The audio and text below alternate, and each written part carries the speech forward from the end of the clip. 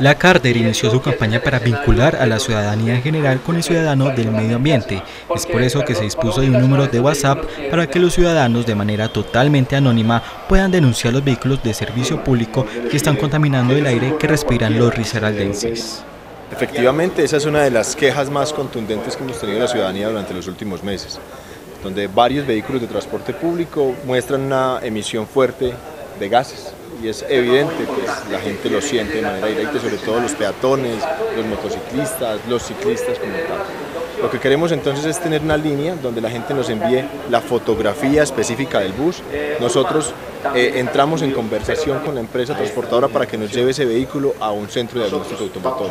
Y si no nos pasa la prueba, el vehículo va a ser objeto de comparendo. Ya iniciamos, ya van cerca de unas 700 pruebas, un incumplimiento del 7,4%, o sea, son vehículos que, han tenido ya pues llamamientos directos por parte de, los entes y ahí estamos trabajando de manera directa con el Instituto de, Movilidad de la ciudad de Pereira.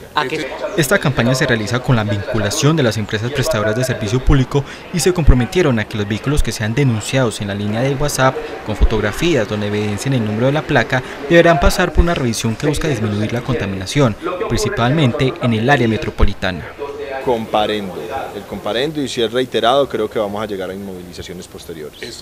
Además, mañana viernes se realizará el mercadillo agroindustrial en las instalaciones de la Carder, donde se contará con productos del campo cultivados de manera sostenible, además de productos elaborados con el acompañamiento de la Corporación Ambiental Regional de Risaralda.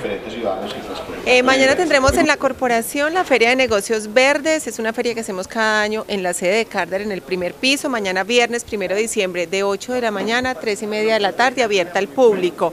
Es el espacio para que Risaralda, bueno, y Pereira principalmente, eh, conozca cuáles son los productores verdes que tenemos acá. Tenemos más de 70 organizaciones. la categoría que más trabajamos en Risaralda es la de agricultura sostenibles. Eh, tenemos procesos agroecológicos, verduras, frutas, café, panela, miel, eh, también transformados, productos de belleza, artesanías en fibras naturales.